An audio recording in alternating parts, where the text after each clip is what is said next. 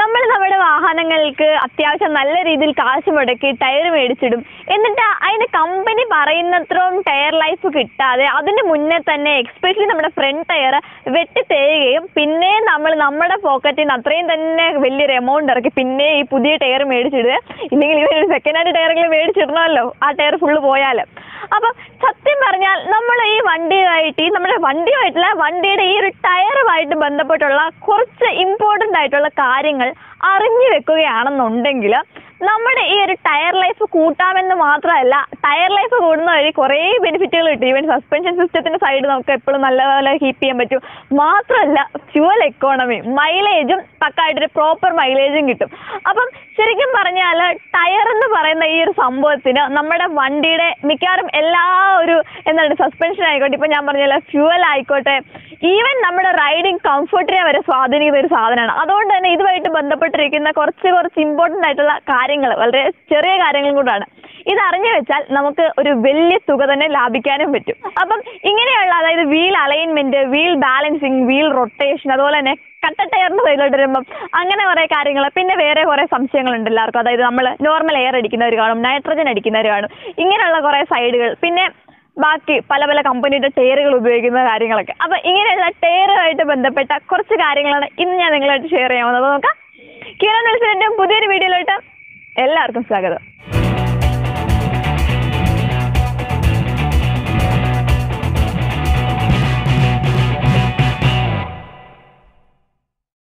ആദ്യം നമുക്ക് നമ്മുടെ വീൽ അലൈൻമെന്റ് എന്താണെന്ന് നോക്കാം. അപ്പൊ വീൽ അലൈൻമെന്റ് എന്ന് പറഞ്ഞാൽ അതായത് നമ്മുടെ വണ്ടികളിലൊക്കെ തന്നെ ഈ ടയർ ഉറപ്പിച്ച് വെച്ചിരിക്കുന്നത് പക്കായിട്ട് ഇങ്ങനെ വെർട്ടിക്കൽ അതായത് ഒരു തൊണ്ണൂറ് ഡിഗ്രി ആംഗിളിലല്ല മറിച്ച് ഈ ഒരു ടയറും റോഡും തമ്മിൽ ചെറിയ ചെറിയ ആംഗിളുകൾ ഉണ്ടാക്കുന്നുണ്ട്. അത് നമുക്ക് ശരിക്കും കണ്ണുകൊണ്ട് കാണാൻ പറ്റുന്ന രീതിയിലല്ല എല്ലാ ആംഗിളുകളും ഒന്നും ഈ- പറയുന്നത്.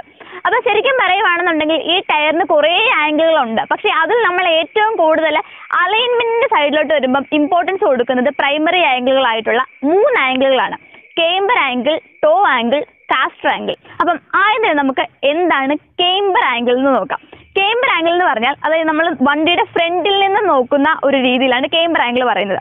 വണ്ടിയുടെ ഫ്രണ്ടിൽ നിന്ന് നോക്കുമ്പോഴത്തേനും വണ്ടിയുടെ ടയറിന് ഉള്ളിലേക്ക് ചെറുതായിട്ട് ഒരു ടിൽട്ട് ഒരു ചെറിയൊരു ചെരിവുണ്ടെങ്കിൽ അതിനെ നമ്മൾ നെഗറ്റീവ് കേംബർ എന്നും ഇനി ആ ഒരു ടിൽട്ട് നേരെ ഓപ്പോസിറ്റ് സൈഡിലോട്ടാണെന്നുണ്ടെങ്കിൽ പോസിറ്റീവ് കേംബർ എന്നും പറയും. അപ്പൊ ഈ ഒരു ആംഗിൾ നമുക്ക് കറക്റ്റ് ആയിട്ട് നോക്കണമെന്നുണ്ടെങ്കിൽ ശരിക്കും ആപ്പയുടെ ഒക്കെ നോക്കിയാൽ മതി. കാരണം ഇങ്ങനെ അകത്തോട്ട് ആ ഒരു ബാക്കിൽ നിന്ന് നോക്കുമ്പോൾ ഇരിക്കുന്ന കാണാൻ പറ്റും. അതായത് ആപ്പയ്ക്കാണെന്നുണ്ടെങ്കിൽ പോസിറ്റീവ് അതുപോലെ ലാൻസറിലോട്ടൊക്കെ വരുവാണെന്നുണ്ടെങ്കിൽ ഒരു നെഗറ്റീവ് കേമ്പർ നമുക്ക് കാണാനായിട്ട് പറ്റും.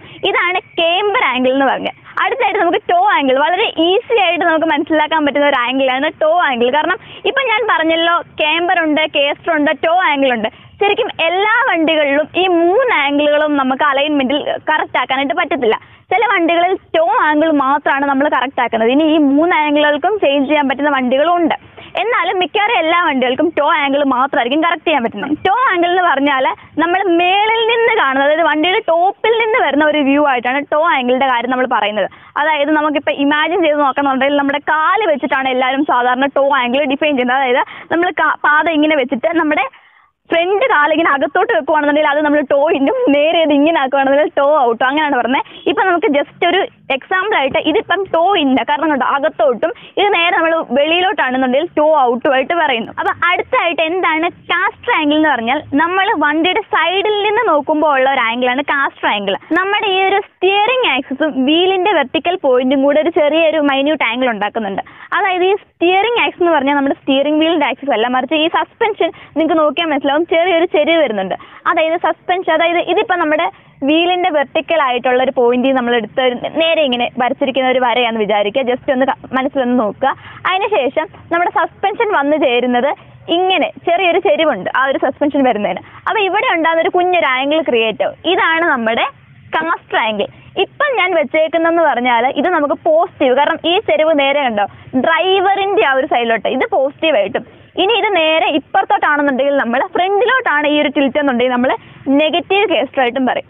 ഇതാണ് നമ്മുടെ പ്രധാനപ്പെട്ട പ്രൈമറി ആംഗിളുകൾ അലൈൻമെന്റിന്റെ സൈഡിലോട്ട് വരുമ്പോൾ ഇനിയും വേറെ കുറെ ആംഗിളുകൾ ഉണ്ട് കേട്ടോ. തൊണ്ണൂറ് ഡിഗ്രിയിൽ നേരെ ടയറുകളെ നിർത്തുന്നതിന് വരെ എന്തിനാണ് ഈ നിശ്ചിത ചെറിയ ചെറിയ ആംഗിളുകളിലോട്ട് ഈ ടയറുകളുടെ പൊസിഷൻ ചെയ്ത് വെച്ചിരിക്കുന്നതെന്ന് ചോദിച്ചാൽ അതിന് കുറെ കാര്യങ്ങളുണ്ട്. കാരണം നമ്മൾ പോകുന്ന വഴികൾ എപ്പോഴും നേരെയുള്ളതൊന്നുമല്ല വളവുകൾ കാണും തിരിവുകൾ കാണും. ഈവൻ പല ടൈപ്പ് ടെറൈനൊക്കെ ആയിരിക്കും. അപ്പൊ ഓരോരുത്തടത്തും ഉള്ള പെർഫോമൻസ് വേറെ വേറെ ആയിരിക്കും. അതിനനുസരിച്ച് നമ്മുടെ വണ്ടിയുടെ ഈ ഒരു സ്റ്റെബിലിറ്റി കോർണറിങ് എബിലിറ്റി അതുപോലെ തന്നെ നമുക്ക് നമുക്കറിയാലോ നമ്മുടെ സ്റ്റിയറിംഗ് വീൽ നേരെ റിട്ടേൺ കിട്ടും നമ്മൾ ഒന്ന് ഒടിച്ചു കഴിഞ്ഞാൽ അപ്പോൾ ഇങ്ങനെയുള്ള കുറേ കാര്യങ്ങൾ. പിന്നെ എക്സ്പെഷ്യലി ടയർ ലൈഫ് കൂട്ടുക.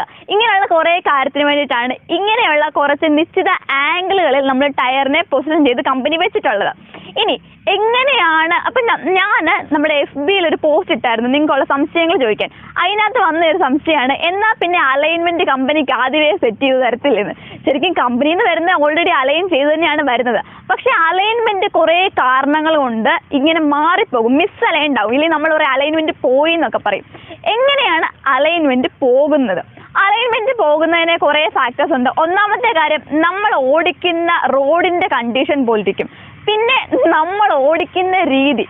ഇപ്പം നമ്മൾ ഓടിക്കുന്ന രീതിയിൽ എന്ന് പറഞ്ഞാൽ കുറേ കാര്യങ്ങൾ നമുക്ക് പറയാൻ പറ്റും. അതായത് നമ്മൾ ഭയങ്കരമായിട്ട് റാഷ് ഡ്രൈവ് ചെയ്യുന്ന ഒരാളാണെന്നുണ്ടെങ്കിൽ അലൈൻമെന്റ് ഇടയ്ക്കിടയ്ക്ക് പോയി ചെക്ക് ചെയ്യുന്നത് നല്ലതായിരിക്കും. മാത്രമല്ല നമ്മൾ എപ്പോഴും പറയാറുണ്ട് ഒരു ബമ്പ് ചാടുമ്പോഴത്തേനും നമ്മൾ ഇച്ചിരി സ്പീഡ് കുറച്ച് ചാടും. ഇല്ലെന്നുണ്ടെങ്കിൽ ഒരു ഗട്ടർ ഇറങ്ങി കയറുമ്പോൾ നമ്മൾ ഇച്ചിരി സ്പീഡ് കുറച്ച് ഇറങ്ങി കയറും അത് ഈ സന്ദർഭങ്ങളിലൊക്കെ നമ്മൾ ഇച്ചിരി സ്പീഡ് ചെന്നിട്ട് ഒരു ബമ്പ് കയറിയാലും ഒരു കട്ടറിലോട്ട് നേരെ ചെന്ന് സ്പീഡിലൊക്കെ ഇറങ്ങി കയറിപ്പോയാലും മിസ് നമ്മുടെ ഈ ഒരു അലൈൻമെന്റ് പോകും. കാരണം ഈ അലൈൻമെന്റ് എന്ന് പറഞ്ഞാൽ ഞാൻ പറഞ്ഞല്ലോ വളരെ മൈന്യൂട്ട് ആയിട്ടുള്ള കുറച്ച് ആംഗിളാണ് പോകാനായിട്ട് അധികം പാടുന്നില്ല. കാരണം ഈ വണ്ടിയുടെ സസ്പെൻഷൻ ജോയിന്റുകളും കാര്യങ്ങളും നോക്കിയാൽ നിങ്ങൾക്ക് അറിയാം ബുഷുകളാണ് കൊടുത്തിരിക്കുന്നത്. അപ്പൊ അതുകൊണ്ട് തന്നെ ഇത് പെട്ടെന്ന് തന്നെ പോകാനായിട്ടുള്ളൊരു ചാൻസ് ഉണ്ട്. പിന്നെ എസ്പെഷ്യലി ഇപ്പൊ പറഞ്ഞ പോലത്തെ കുറെ രീതികളിലാണ് അലൈൻമെന്റും കാര്യങ്ങളും പോകുന്നത്. ഈ നമ്മൾ വളരെ മാന്യമായിട്ട് ഡ്രൈവ് ചെയ്യുന്ന ഒരാളാണെങ്കിൽ പോലും കാലപ്പഴക്കം വരുന്നതോറും ഈ ബുഷുകളൊക്കെ ആയതുകൊണ്ട് തന്നെ അതിന് തേയ്മാനം കാര്യങ്ങളൊക്കെ സംഭവിക്കല്ലോ. നമ്മൾ റീപ്ലേസ് ചെയ്ത ഒരു ലോവർ ആമാണ് ഇത് ഇവിടെ ആയിട്ട് ഈ റബ്ബർ ഇങ്ങനെ പൊട്ടിയിരിപ്പുണ്ട്. ഇതാണ് നമ്മൾ മാറാൻ കാരണം. ഇത് ഇങ്ങനെ വരുന്ന റബ്ബറിലുള്ള പൊട്ടലുകൾ. അതുപോലെ തന്നെ ഇപ്പോഴത്തെ പോർഷനിലുള്ള ഇതിന്റെ ഒരു ഇളക്കം പിന്നെ ഇവിടുത്തെ ബുഷ് പോവുക ഇങ്ങനത്തെ പ്രശ്നം കൊണ്ടൊക്കെ നമ്മുടെ അലൈൻമെന്റ് പോവും. ഇനി അലൈൻമെന്റ് പോയി കഴിഞ്ഞാൽ നമ്മൾ അത് എങ്ങനെ മനസ്സിലാക്കുമെന്ന് ചോദിച്ചാൽ വളരെ ഈസി ആയിട്ട് കുറെ കാര്യങ്ങൾ നമുക്ക് മനസ്സിലാക്കാനായിട്ടുണ്ട്. അതിൽ ഏറ്റവും പ്രധാനപ്പെട്ട കാര്യമാണ് നമ്മൾ ടയറിനെ കുറിച്ചല്ല സംസാരിക്കുന്നത്. അതുകൊണ്ട് തന്നെ ടയർ പ്രത്യേക രീതിയിൽ വെട്ടി തേയുന്നതായിട്ട് കാണാൻ പറ്റും. അലൈൻമെന്റ് പോയ വണ്ടികൾക്ക്. അതായത് ഒരു സൈഡ് മാത്രമായിട്ട് വെട്ടി തേയുക അല്ലെങ്കിൽ ഒന്നെങ്കിൽ ഈ സൈഡ് ഇങ്ങനെ വെട്ടി തേയുന്നതാണ്. അതായത് അൺഈവൻ ആയിട്ടുള്ള ഒരു ടയർ വെട്ടി തേയൽ നമുക്ക് കാണാൻ പറ്റും. പിന്നെ വേറൊരു കാര്യം എന്ന് പറഞ്ഞാൽ നമുക്കറിയാം നമ്മുടെ വണ്ടി പക്ക ആയിട്ട് പ്രോപ്പറായിട്ട് അലൈൻഡ് ആയിട്ടാണ് ഇരിക്കുന്നതെങ്കിൽ നമ്മൾ നേരെ വണ്ടി പോകുന്ന സാഹചര്യത്തിൽ എപ്പോഴും നമ്മൾ ഏത് കമ്പനിയുടെ വണ്ടിയാണ് ഓടിക്കുന്നത് ആ എംബ്ലം സ്റ്റിയറിംഗിൽ ആ ഒരു എംബ്ലം കാണുമല്ലോ ഒരു ലോഗോ കാണുമല്ലോ അതെപ്പോഴും നേരെയായിട്ട് നേരെയായിട്ടായിരിക്കും ഇരിക്കുന്നത്. ഇനി അലൈൻമെന്റ് പോയതാണെന്നുണ്ടെങ്കിൽ നേരെ പോകുന്ന സാഹചര്യത്തിൽ ആ എംബ്ലം കുറച്ച് ഇടത്തോട്ടോ ഇല്ലെങ്കിൽ കുറച്ച് വലത്തോട്ടോ ചെരിഞ്ഞിരിക്കുന്നതായിട്ട് കാണാൻ പറ്റും. അതായത് സ്റ്റിയറിംഗ് ഓഫ് സെന്റർ ആയിട്ട് ഇരിക്കുക എന്നാണ് നമ്മളതിന് പറയുക. അപ്പൊ ഇങ്ങനെ ഇരിക്കുന്നുണ്ടെങ്കിൽ അത് അലൈൻമെന്റ് പോയതിന്റെ കാര്യം കൊണ്ടായിരിക്കും. ഇനി വേറൊരു കാര്യം നമ്മൾ നല്ല ഒരു ഇടത്തോട്ടോ വലത്തോട്ടോ നല്ലൊരു വളവെടുത്തു കഴിഞ്ഞാൽ നമുക്കറിയാം നമ്മുടെ സ്റ്റിയറിംഗ് റിട്ടേൺ കിട്ടും. ഇങ്ങനെ സ്റ്റിയറിംഗ് റിട്ടേൺ കിട്ടാതെ വരിക. പിന്നെ വേറൊരു സന്ദർഭമുണ്ട് അതായത് നമ്മൾ നേരെ പൊക്കോണ്ടിരിക്കുന്ന സാഹചര്യത്തിൽ നമ്മൾ നമ്മുടെ ടയറിന് നമ്മുടെ വണ്ടിക്ക് എപ്പോഴും ഉള്ളൊരു ടെൻഡൻസി എന്ന് പറഞ്ഞാൽ നേരെ പോകാനായിട്ടാണ്. അപ്പൊ അതുകൊണ്ട് തന്നെ നമ്മൾ സ്റ്റിയറിംഗിൽ നിന്ന് കൈ വിട്ടാലും വണ്ടി നേരെ ഓടണം. അതായത് അലൈൻമെന്റ് പക്ക ആണെങ്കിൽ വണ്ടി നേരെ ഓടും. ഇനി ഇപ്പം ഞാൻ പറഞ്ഞ രീതിയിൽ നമ്മൾ നല്ലൊരു റോഡിൽ കൂടെ സ്റ്റിയറിംഗിൽ നിന്ന് കൈ എടുത്ത് ഓടിക്കുമ്പോൾ വണ്ടിക്ക് വലത്തോട്ടോ ഇടത്തോട്ടോ ഒരു വെട്ടൽ നമുക്ക് ഫീൽ ചെയ്തല്ലോ. അതായത് വണ്ടി ഒന്നെങ്കിൽ ഇങ്ങനെ വലത്തോട്ട് ചെരിഞ്ഞെരിഞ്ഞ് പോകുന്നു അല്ലെങ്കിൽ ഇടത്തോട്ട് ചെരിഞ്ഞെരിഞ്ഞ് പോകുന്നു ഇങ്ങനെയൊക്കെ കാണുവാണെന്നുണ്ടെങ്കിലും അലൈൻമെന്റ് പോയിട്ട് ചെക്ക് ചെയ്യാം. ഇനി ഈ പ്രശ്നങ്ങളൊന്നും വണ്ടിക്കില്ലെങ്കിലും ഒരു മൂവായിരം ഇല്ലെങ്കിൽ അയ്യായിരം ഈ കിലോമീറ്റർ ഒക്കെ ആകുമ്പോഴത്തേനും അലൈൻമെന്റ് പോയി ചെക്ക് ചെയ്യുന്നത് നല്ലതായിരിക്കും. അപ്പൊ ഇങ്ങനെയുള്ള കുറെ സിംറ്റംസ് നമ്മുടെ വണ്ടി കാണിക്കുമ്പോഴേക്കും നമുക്ക് മനസ്സിലാവുന്നു. ഓക്കെ നമ്മുടെ അലൈൻമെന്റ് പോയി. ഉടനെ നമ്മൾ അലൈൻമെന്റ് ചെയ്യുന്ന ഷോപ്പിൽ പോകുന്നു. വണ്ടി എടുക്കുന്നു അലൈൻമെന്റ് ചെയ്യിക്കുന്നു. പക്ഷെ നമ്മൾ ഒരിക്കലും തന്നെ നമ്മൾ നോക്കാറില്ല. അവർ എന്താണ് ഈ അലൈൻമെന്റ് ചെയ്യുന്നിടത്ത് ചെയ്യുന്നതെന്ന് ഒന്നും നമ്മൾ ശ്രദ്ധിക്കാറില്ല. അപ്പൊ എന്താണ് അവർ ചെയ്യുന്നതെന്ന് ചോദിച്ചാൽ ഇത്രേ ഉള്ളൂ. അതായത് ഞാൻ ആദ്യം നിങ്ങളോട് പറഞ്ഞല്ലോ ഇങ്ങനെയുള്ള നമുക്ക് നോർമൽ ടൈപ്പ് അതായത് ഇതിപ്പോൾ നമുക്ക് സസ്പെൻഷൻ സ്ട്രട്ടാണ് വരുന്നത്. ഇങ്ങനെയുള്ള ഇങ്ങനെയുള്ളതിന് നമുക്ക് ടോ ആംഗിൾ മാത്രമാണ് അഡ്ജസ്റ്റ് ചെയ്യാൻ പറ്റുന്നത്. ഇനി ഡബിൾ വിഷ് ബോൺ വരുന്ന ടൈപ്പിനൊക്കെയാണ് നമ്മൾ സാധാരണയായിട്ട് കേംബർ കാസ്റ്റർ അതിനതൊക്കെ അഡ്ജസ്റ്റബിൾ ആണ്.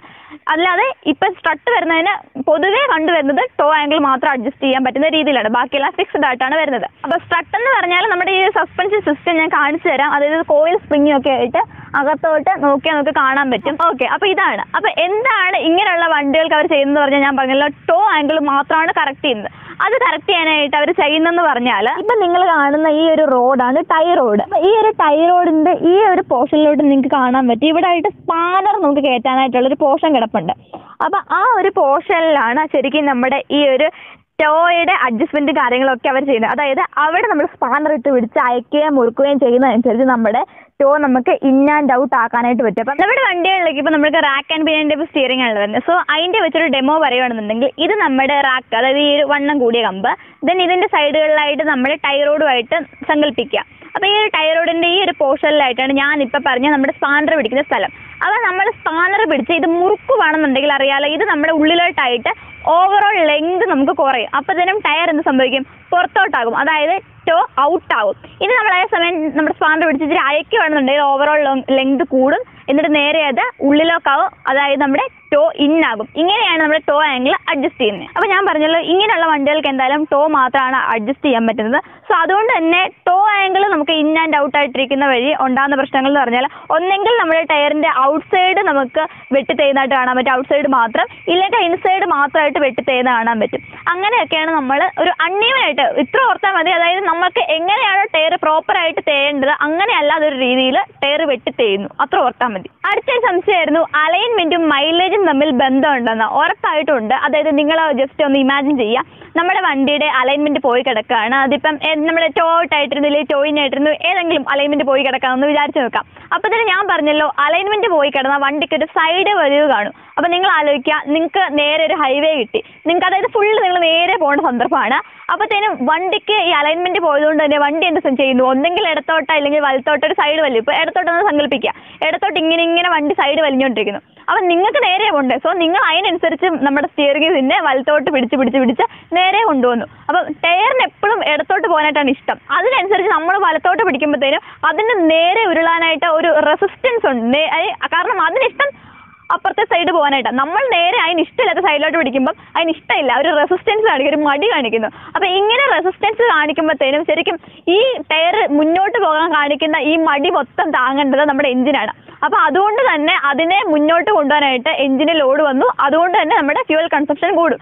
മാത്രമല്ല ഇങ്ങനെ റോളിംഗ് റെസിസ്റ്റൻസ് വരുന്ന വഴി തന്നെ നമ്മുടെ ടയർ അണ്ണീവനായിട്ട് വെട്ടിത്തരും മാത്രമല്ല നമുക്കും ബുദ്ധിമുട്ടുണ്ടാകും. അത് അത് കാരണം എന്ന് പറഞ്ഞാൽ നമ്മളിപ്പോൾ നേരെ പോകേണ്ട സന്ദർഭത്തിൽ ഒരു ലോങ് പോകുമ്പോഴാണ് കൂടുതലായിട്ട്. അതായത് നമ്മൾ ഈ മിസലൈൻഡ് ആയിട്ട് കിടക്കുന്ന വണ്ടിയെ നേരെ കൊണ്ടുപോയിട്ട് നമ്മൾ സ്റ്റിയറിംഗ് അത് പോകുന്നതിന്റെ ഓപ്പോസിറ്റ് പിടിച്ച് പിടിച്ച് പിടിച്ച് കുറേ കഴിയുമ്പോഴത്തേനും നമുക്ക് നമ്മുടെ ഷോൾഡർ പെയിൻ ഒക്കെ തുടങ്ങും. അങ്ങനെ നമുക്കും കൂടെ ഈ ഒരു അലൈൻമെന്റ് പോയി കിടന്ന വണ്ടി ഓടിക്കുമ്പോഴേക്കും ആരോഗ്യത്തിന് ഹാനികരമാണ്. അടുത്തായിട്ട് എന്താണ് വീൽ ബാലൻസിംഗ് എന്ന് പറഞ്ഞാൽ അതായത് നമ്മൾക്ക് ചിലർക്കെങ്കിലും ഒരു സംശയമുണ്ട്. അതായത് അലൈൻമെന്റ് പോലെ തന്നെ എന്തോ ആണ്. ശരിക്കും അത്രയ്ക്ക് വലിയ സംഭവമൊന്നും അല്ല.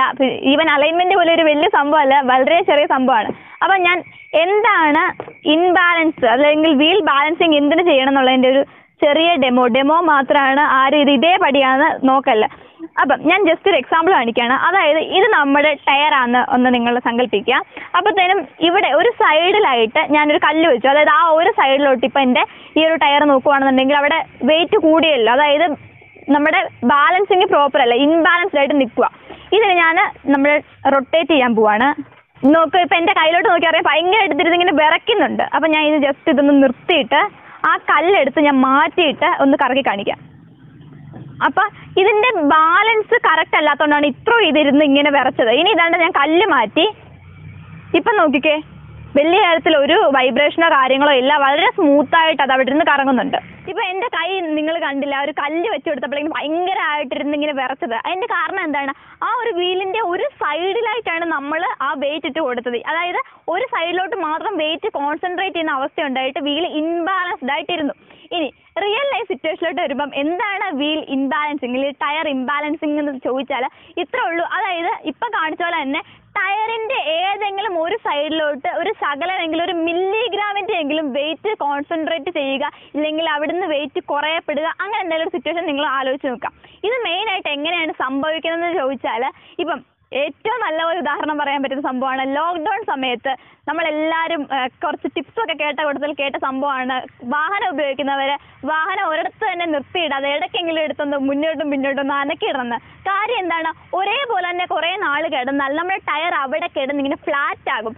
അതുവഴി നോക്കുവാണെന്നുണ്ടെങ്കിൽ അവിടെ ഫ്ലാറ്റ് ആയിട്ട് ഇങ്ങനെ ഞാൻ ഇപ്പൊ പറഞ്ഞ രീതിയിൽ ഇൻബാലൻസിങ് സംഭവിക്കും. പിന്നെ വേറൊരു സംഭവം കൊണ്ട് അതായത് എന്തെങ്കിലും വീഡിയോ വല്ല കാര്യങ്ങൾ സംഭവിച്ചിട്ട് നമ്മുടെ ഡിസ്കിനിട്ട് ചെറിയൊരു ചളുക്ക് ഒരു പുളവ് വന്ന് നിൽക്കുക.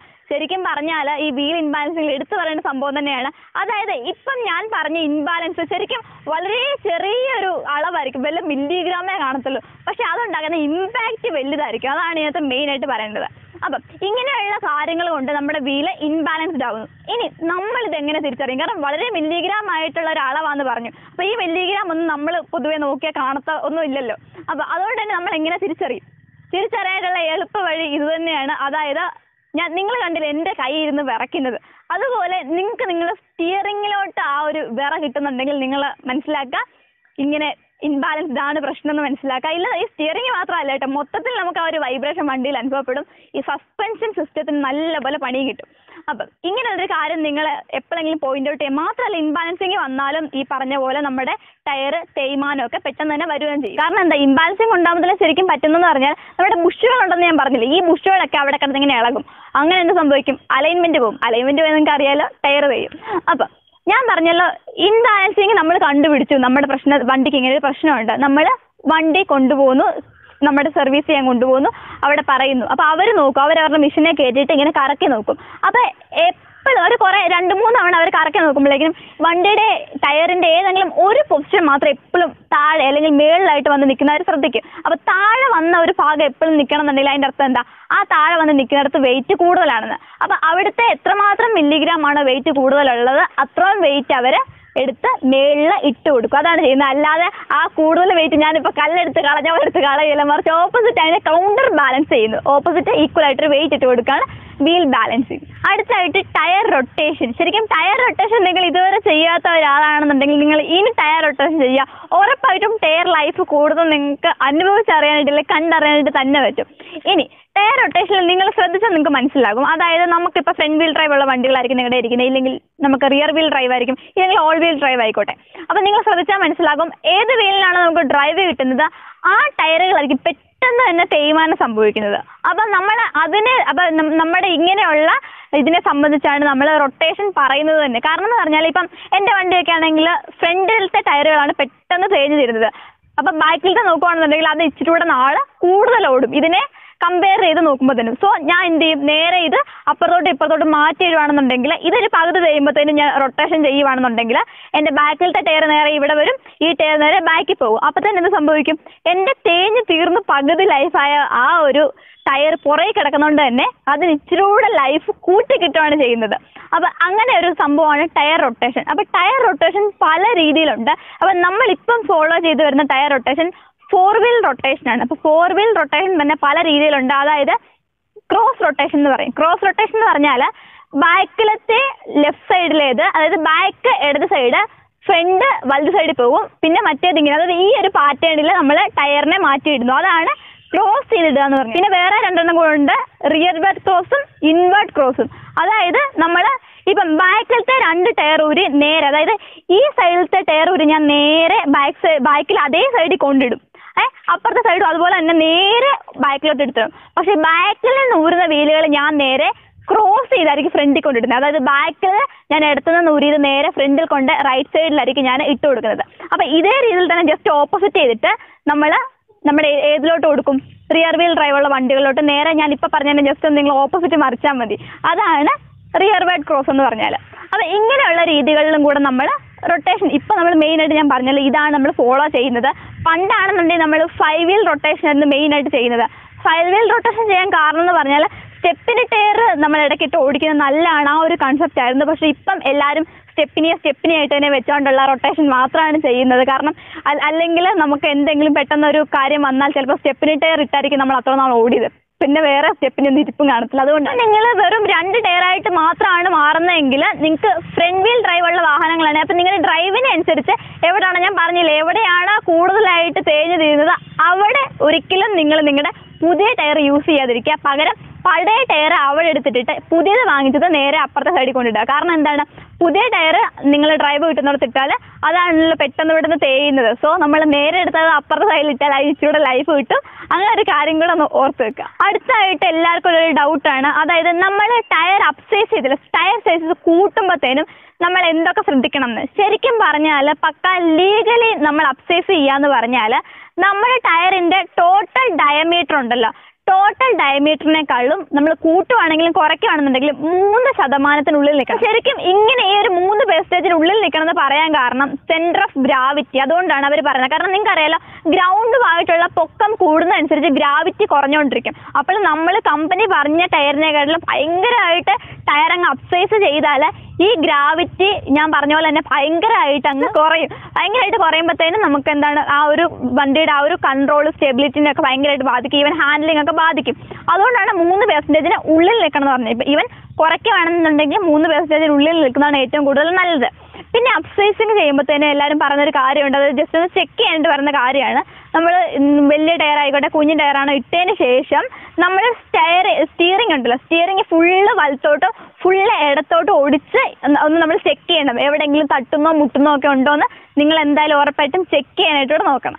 അടുത്തായിട്ടൊരു സംഭവമാണ് ടയർ പ്രഷർ ശരിക്കും പറഞ്ഞാൽ ടയർ ലൈഫിനെ ഏറ്റവും കൂടുതൽ സ്വാധീനിക്കുന്ന ഒരു കാര്യമാണ് ടയറിൽ നമ്മൾ നിറയ്ക്കുന്ന പ്രഷർ അതിപ്പോൾ നൈട്രജൻ ആയിക്കോട്ടെ എയർ ആയിക്കോട്ടെ നിറയ്ക്കുന്ന പ്രഷർ കറക്റ്റ് ആയിട്ട് നോക്കുക. അപ്പോൾ നമ്മുടെ ടയറിൽ എത്രമാത്രം പ്രഷർ വേണമെന്ന് നിങ്ങൾക്ക് അറിയാലോ നമ്മുടെ അവിടെ നിന്ന് നമ്മൾ ഡോർ തുറക്കുമ്പോൾ ആ ലോക്കിന്റെ സൈഡിലായിട്ട് നിങ്ങൾ കാണും എത്ര മാത്രം നമ്മൾ കൊടുക്കണം എന്നുള്ളത്. അപ്പം അതിൽ കൂടുതലായാലും കുറവായാലും അതായത് ഓവറായിട്ട് നമ്മൾ എയർ കയറ്റിയാലും ഈവൻ നമ്മൾ എയർ ഭയങ്കരമായിട്ട് ലോ ആണെന്നുണ്ടെങ്കിലും ടയർ അണ്ണീവനായിട്ട് എന്തായാലും പെട്ടെന്ന് തന്നെ വിയർ സംഭവിക്കും. കാരണം ഞാൻ പറഞ്ഞല്ലോ ഇത് നമ്മുടെ റോഡുമായിട്ട് കോണ്ടാക്ട് ചെയ്യേണ്ടത് ഒരു പ്രത്യേക ഒരു വിട്ടാണ് അവിടെ നമുക്ക് ടയറുമായിട്ട് കോണ്ടാക്ട് ചെയ്യേണ്ടത്. അപ്പം കൂടിയാലും കുറഞ്ഞാലും ഇപ്പം നിങ്ങൾ ഓർക്കുക ഭയങ്കരമായിട്ട് നമ്മുടെ കൂടി നിൽക്കുക അപ്പം നടുക്ക് ഭാഗം മാത്രം വെട്ടി ചെയ്യും. ഇനി ഒത്തിരി അങ്ങ് കുറഞ്ഞു പോയാൽ ഈ സൈഡുകൾ കൂടുതലായിട്ട് അങ്ങ് തേഞ്ഞു തീരുന്നതായിട്ട് നമുക്ക് കാണാൻ പറ്റും. അങ്ങനെയുള്ള പ്രശ്നങ്ങൾ വരും. അതുകൊണ്ട് തന്നെ എപ്പോഴും ടയർ ലൈഫ് കൂട്ടാനായിട്ട് ഇപ്പം നിങ്ങൾ അലൈൻമെന്റ് ചെയ്താലും ബാലൻസിങ് ചെയ്താലും എപ്പോഴും ഓർക്കുക പ്രഷർ കറക്റ്റ് അല്ലെങ്കിൽ എന്തായാലും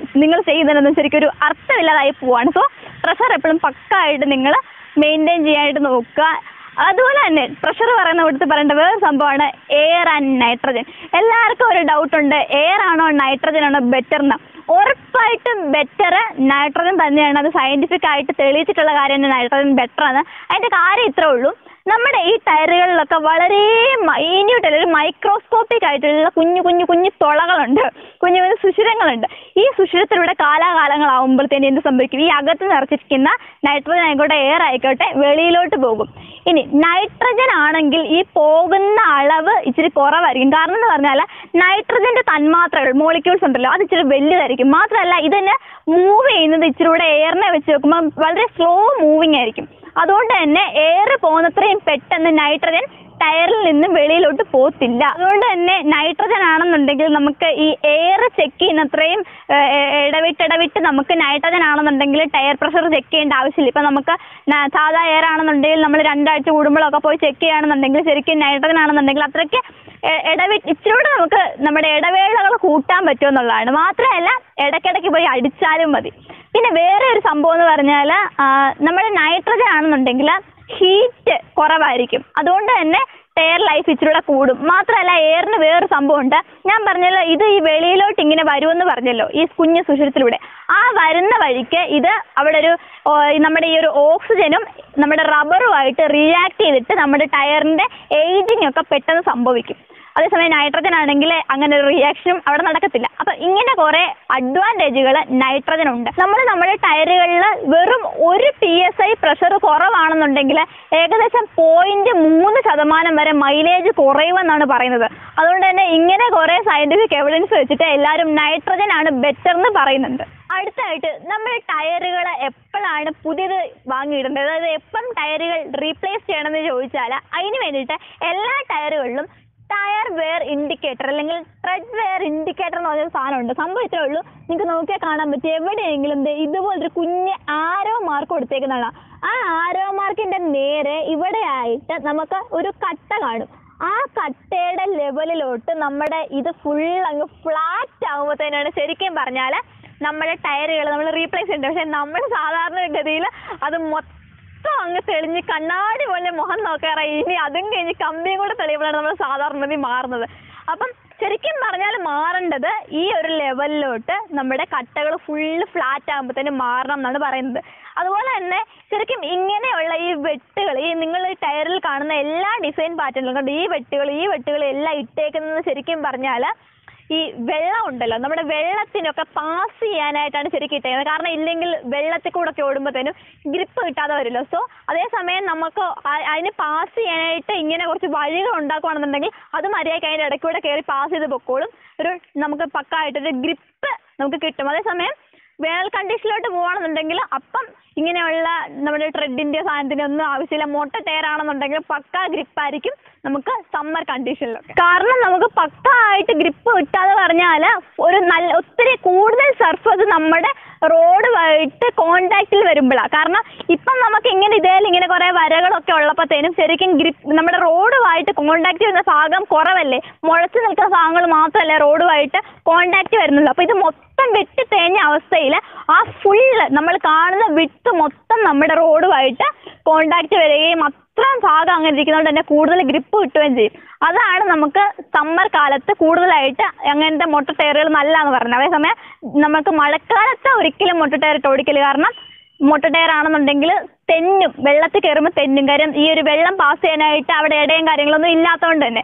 അപ്പം ഇത്രയൊക്കെയാണ് ശരിക്കും ടയർ ലൈഫ് കൂട്ടാനായിട്ട് നമ്മൾ നോക്കേണ്ട കുറച്ച് കാര്യങ്ങൾ.